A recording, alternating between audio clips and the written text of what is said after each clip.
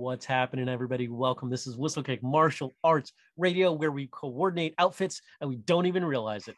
Episode something or other. But today we're talking about fundraising.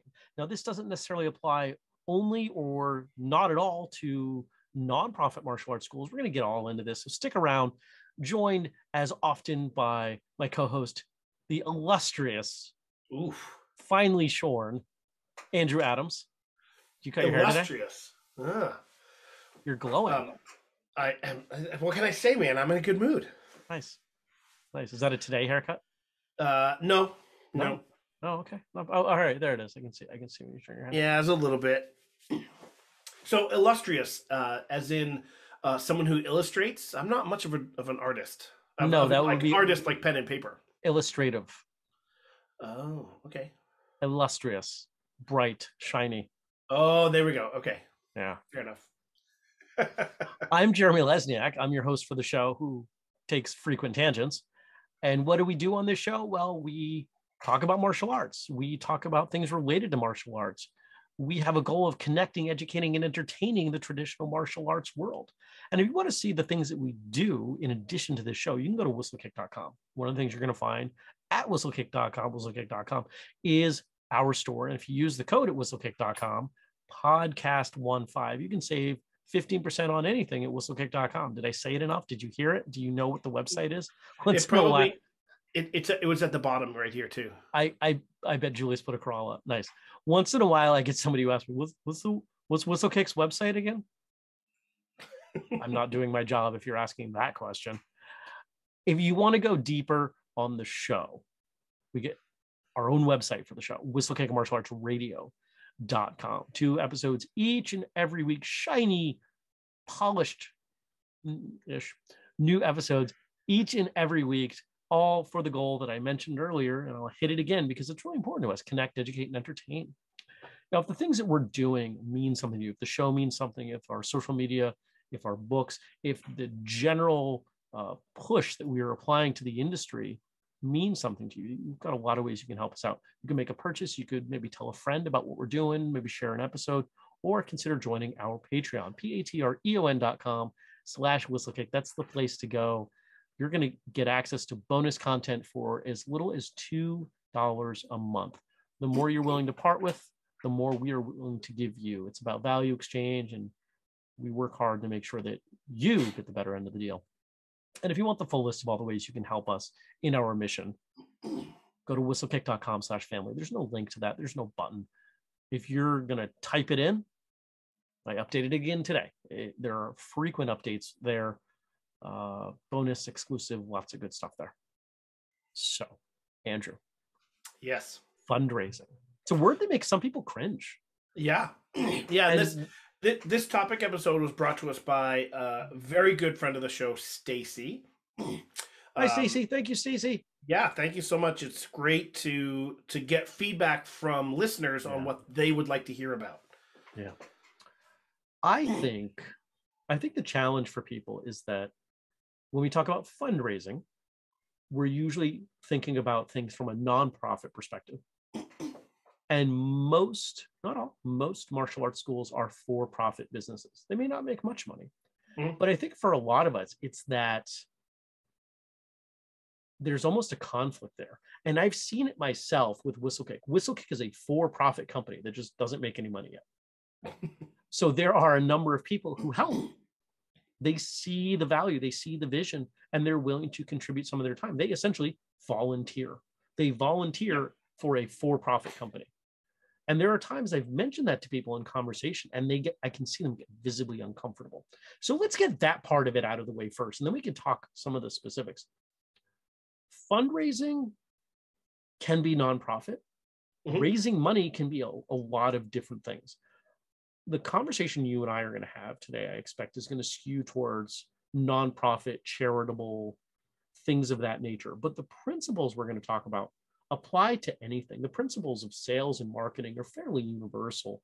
And while we're not going to talk about all of them, and not all of them will be equally applicable in all situations, I think there's a lot of value there regardless. You know, Mhm. we're going to talk about things like kickathons and breakathons and other Yeah. other thons that one might consider in the context of martial arts. But just because your school does not do those things doesn't mean you won't find some value here. Maybe you want to start one. Uh, but it also doesn't mean that those things have to be done solely for the benefit of a charity. There are a lot of different ways you can do these things. And we're not going to tell you how to implement this stuff. No. Or, or I should say, where the money goes. We're not going to tell you that. We're going to yeah. give you our thoughts on this whole world because it's something we, we've actually done very little discussion on over the years. Yeah, I think we're we're going to be looking at it more in terms of things that we have seen uh, or experienced ourselves directly, and thoughts on how you might, you know, if you're interested in doing something like that, just might give you some ideas. Yep. Uh, but I but I think you're correct. Most of the ones that I personally have been involved with have been. Um, it wasn't so much fundraising money for the school itself although there's nothing wrong with that. It has been f- the school itself fundraising money for something else, for mm-hmm. like you said, like a, like a nonprofit, uh, something of that nature. That's not to say you couldn't fundraise for your school, but mm-hmm. it just isn't something that I personally have seen a whole lot of. Right. The the place I see probably the biggest exception is I know schools that operate an internal scholarship fund for students mm-hmm. who cannot afford to pay.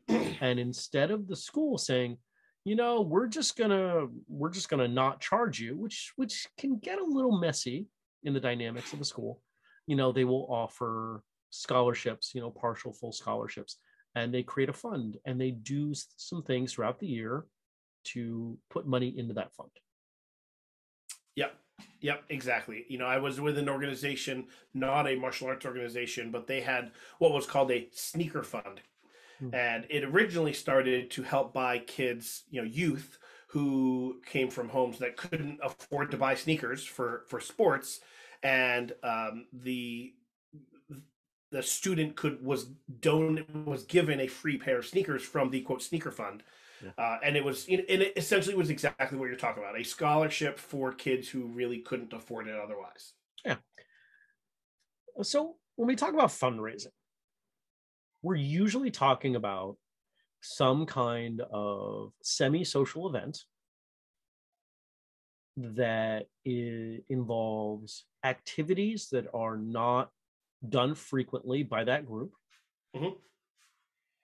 with an eye towards collecting money from inside and outside that community yep. for the purposes of supporting some broadly supported, liked group or organization or entity. Mm-hmm. Uh, growing up, we operated a kickathon at the karate school I attended. Yep. Uh, how many kicks could you do in, I think it was two minutes? And you could switch feet um, and I don't quite remember the recipient. I think one year was Ch- Children's Miracle Network. Uh, that might have been the charity that we were collecting for, and we would go out with pledge sheets, and we would get, you know, friends and neighbors. You know, most of you were kids at some. Most of you were kids at some point, and you did something where you had to get pledges from friends yep. and neighbors. And you know what those sheets look like well, how many kicks do you think you're going to do? I don't know. Last year I did this many. Okay, I'll sponsor you at a penny a kick, a nickel a kick, a mm-hmm. dime a kick. Very, very deep pocketed individuals sponsored at a quarter a kick. Mm. Um, the first year we had someone who did not know what was going on and sponsored at a dollar a kick. That was uh, that was a big bill. That was like two hundred dollars for that person. Yeah, yeah. So I also, when I was a kid, our school also took part in a kickathon, but it was run a little bit differently. Uh, the on the day of, and we knew this ahead of time. On the day of, we as a group were going to be doing each individually one thousand kicks.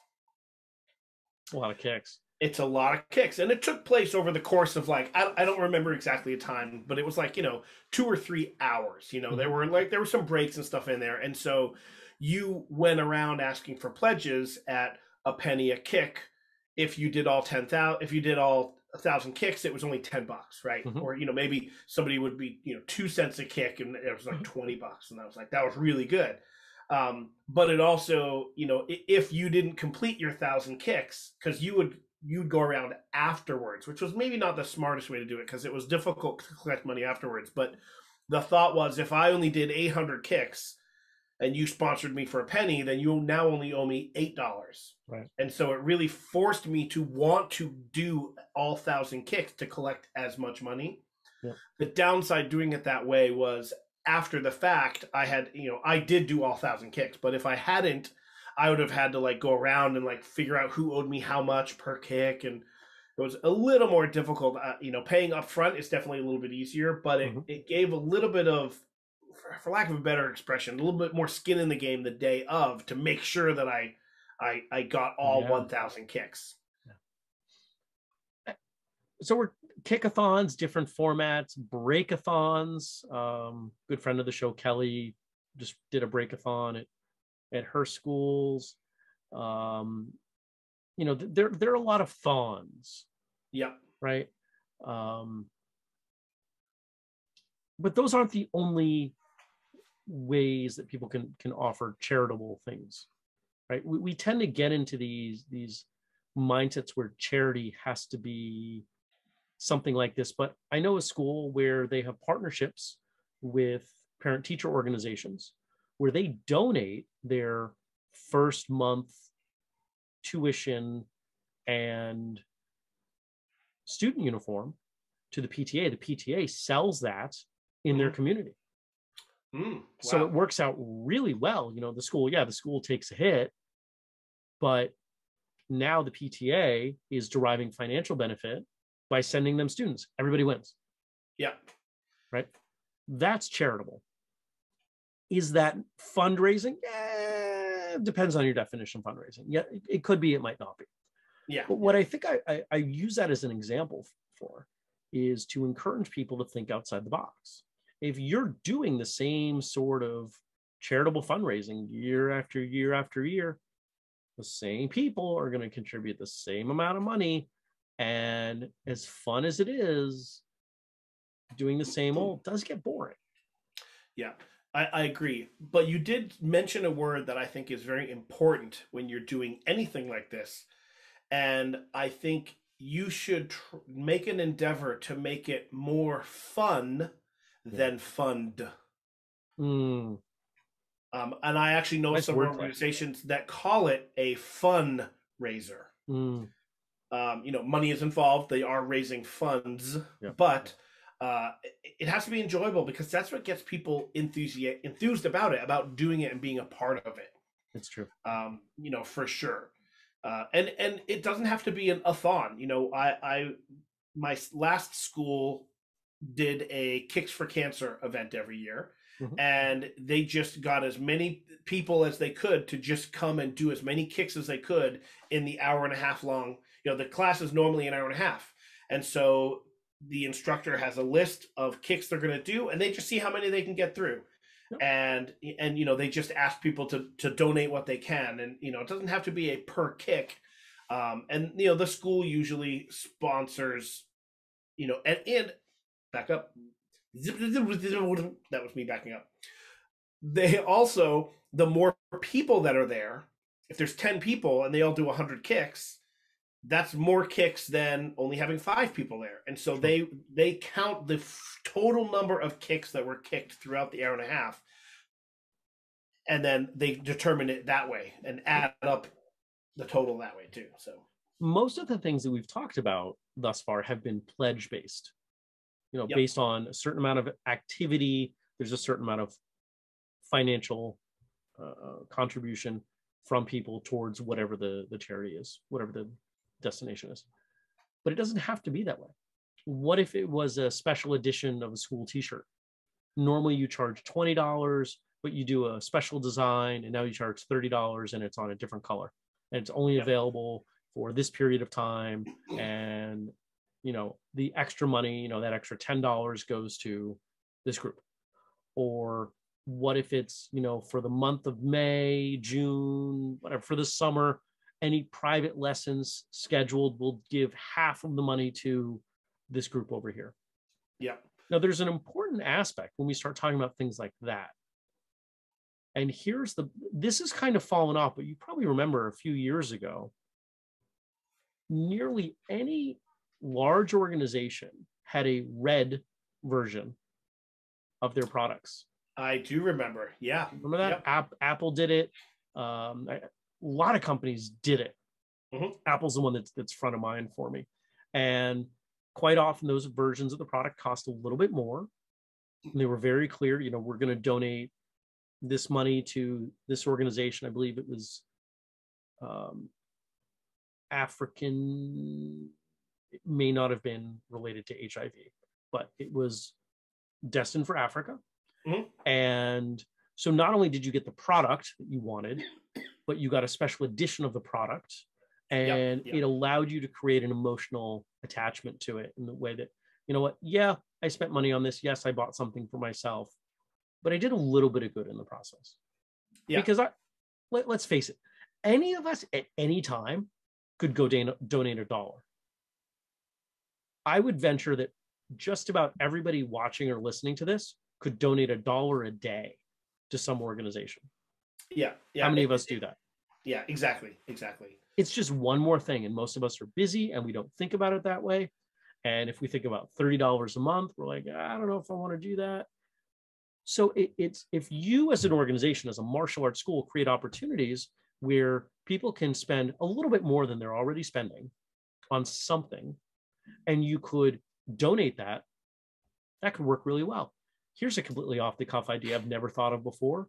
What if you had an option on your tuition for people to round up five bucks? Mm. Or it could be, you know, certain times a year or whatever on your monthly tuition. Yeah. And you donate that money. If you make it easy for people, this is the thing. Why do most fundraising events involve a kid going to a person's house saying, Please, sir, can I have some pennies for my kicks? and then going back later, please, sir, I kicked a thousand times. Can I have nine dollars? Processing fee. And then they take that nine dollars and that nine dollars and that eleven dollars and they send it over to, you know, children without I'm, I'm trying to come up with something funny and sarcastic, but I, I'm, I'm it's gonna fall. I can tell. So we'll just leave it. Children without something. Dot, it's okay. Dot something. Yeah. No, I, I get that. It's got to be easy. Yeah. You know, other ideas that you can do is partner with another larger organization. Yeah. Um, I'm thinking of a, a youth organization that I'm involved with that partners with a local barbecue place. Mm and uh, they they have a certain uh, they pick it one day a year mm-hmm. and for like six hours you know the the pr- money that comes in during that six hours a portion of it is given to the youth organization um, and so the the kids in the organization like tell all their friends they tell all their parents whatever go to the restaurant and you know during these times because it will help us out um, there's no reason you couldn't do something like that as well, if, especially if you have a large organization that is very community oriented mm-hmm. in your you know in your town. That can that can be huge. It's a wonderful opportunity if you. I'm a firm believer in stacking the benefits of these things. Just because something is done as a fundraiser doesn't mean it can't benefit you or your school or other organizations. Absolutely. Just because it's a fundraiser doesn't mean it can't also put money in your pocket it all depends on the specifics and, and how you see things promotion press advertising whatever you want to call it it's a wonderful opportunity to get your school known if you have just started a school this is something that you can do to get some really effective publicity by connecting with a larger organization you now get to leverage their network potentially exactly you know, I, i've done some of this in the past um, I, I had nothing to do with martial arts, but I lived on a roof for four days. And did it in an uh, to raise money for a children's based organization here in Vermont. We raised you know a bunch of thousands of dollars, and it was fun. Fun fun fact: it was like we cobbled together live streaming. It wasn't really a thing, but I live streamed the entire time I was on the roof. Hmm. and we got wonderful press. I mean, we had we had inquiries nationally because of what I was doing. Right.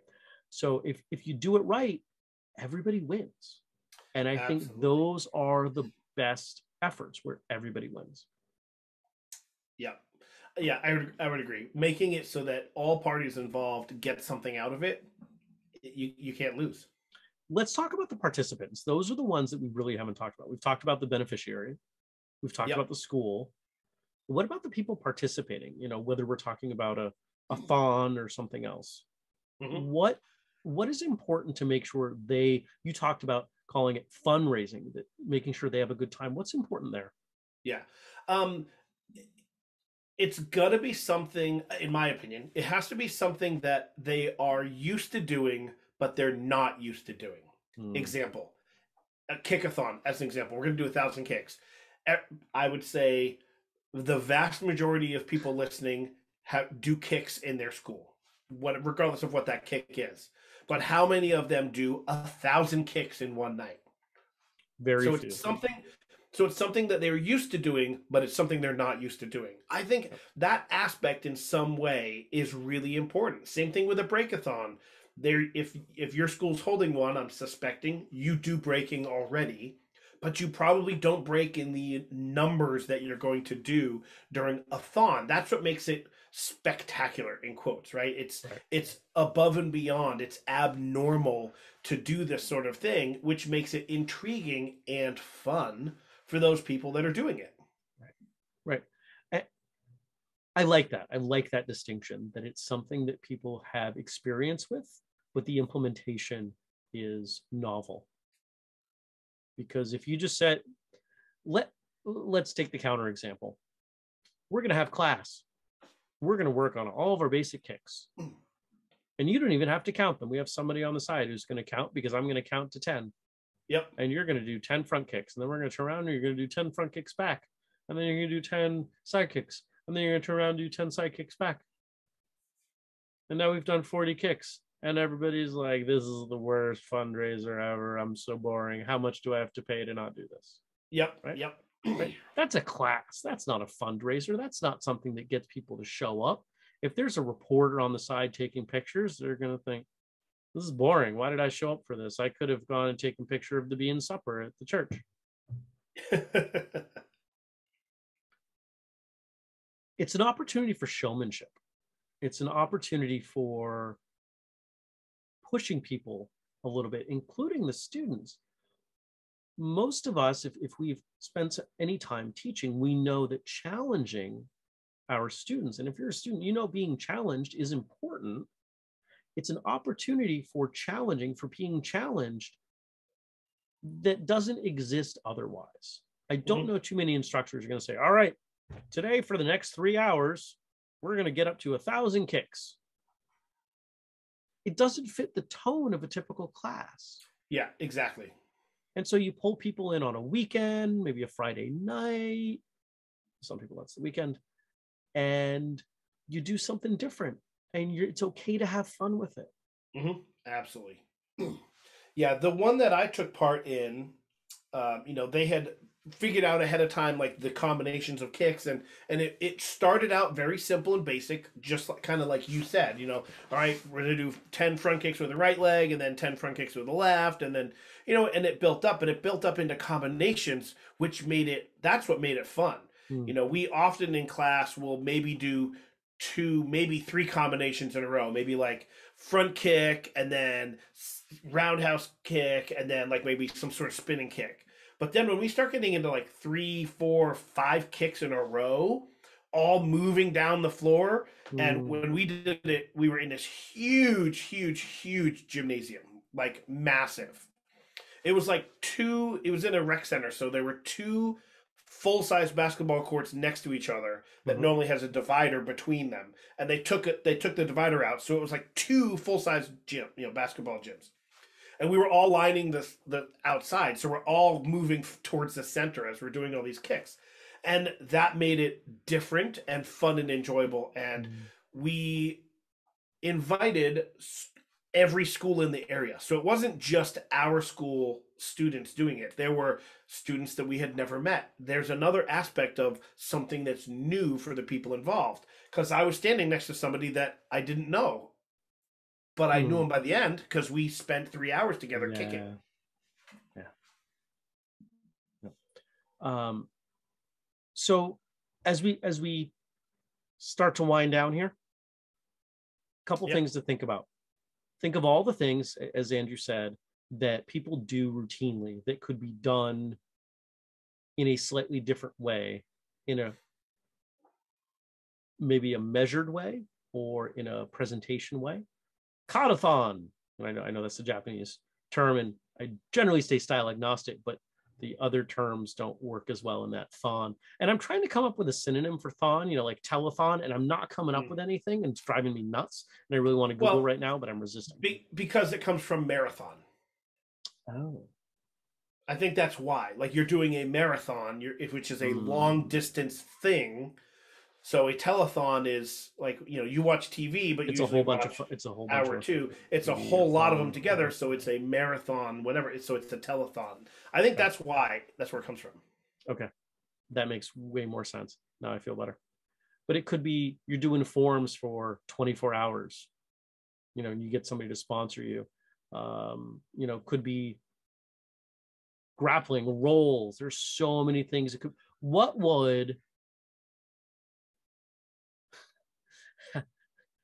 12 hours of rolls and you know they're if you puke you're out maybe maybe we, we should do a podcast-a-thon i did so i implemented back when i was in college and i ran the tv station a 24 hour show mm-hmm.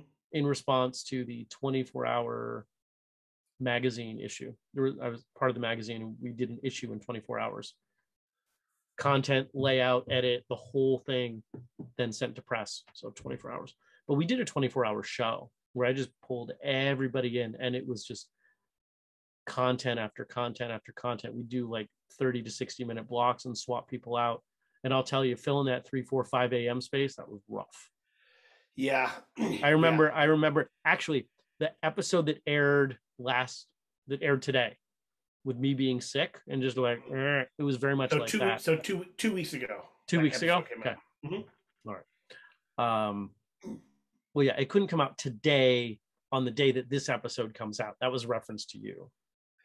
As we're recording this, it came out today. Um.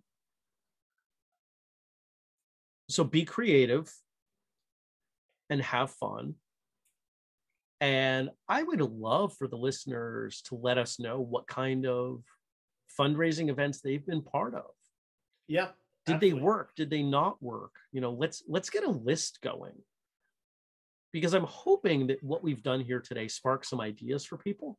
But I know if we bring in more ideas, it'll spark even more ideas. And I, I think there's a lot of value in that for people. A- absolutely. Absolutely. Let's let's all learn from each other. You know, if you had a fundraiser that worked great, how did it work great? Like, why did it work great? What did you do that made it work great so that others can do the same thing?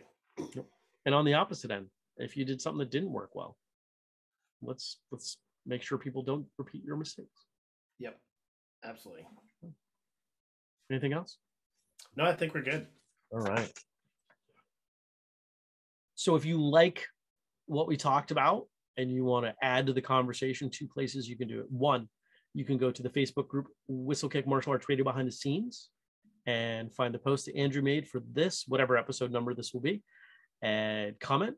You can also go to whistlekickmartialartsradio.com and comment under the post that is this episode. You're also going to find videos and links and social media and all kinds of cool stuff for the episodes that we do over there. And if you're willing to support us in the work that we do, you have a few options. You might consider buying one of our books on Amazon, maybe telling others about the show, or supporting us with our Patreon.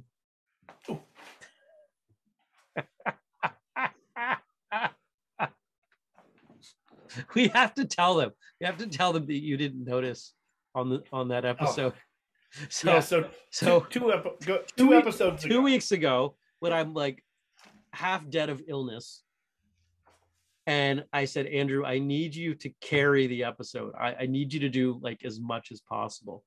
And he starts talking, and I sent him a copy of, of this sheet that I use for the intro and outro stuff. And and I knew I was like, oh, the Patreon. So I, I found a post-it note and I just scribbled like patreon.com slash whistlekick as you and so he's talking about it, and I'm just like, he he didn't even notice. He messaged me today that in the moment he had those. It was only after reviewing the episode that he saw it. Yeah, I and I laughed out loud because I had I was so uh You were a little nervous. I don't yeah, I mean I was gonna say I don't know that nervous. is the right word, but I mean I guess it was a little It's bit because a I little nervous. I don't usually do the intro and the outro. It's something outside of my comfort zone, which is a good thing to step outside of. Um, but I was so focused on, you know, Yeah. following the program. I didn't want to miss anything. And, uh, you know, and so when patreon.com came up slash whistlekick, you brought up this little post-it My note. Post-it and I totally missed it. it was very, very funny. Do you find this kind of humor enjoyable? Would you like to combine it with martial arts training? Bring me in for a seminar. You'll have fun. You'll learn stuff. Uh, if you want, you can have the full experience. We can bring Andrew in too. Absolutely. and we'll probably get less work done but have more fun just message us and, and we'll figure it out don't forget the code podcast 15 it gets you 15% off anything like training programs or a shirt or a hat or um i don't have anything else handy other things like that at whistlekick.com and if you have guest suggestions topic suggestions we want to hear them let us know email me Jeremy at whistlekick.com. Andrew is Andrew at whistlekickmartialartsradio.com. Our social media is at whistlekick everywhere you could think of. That's it for now. So until next time, train, Train hard, hard, smile, and have and a great have a great day.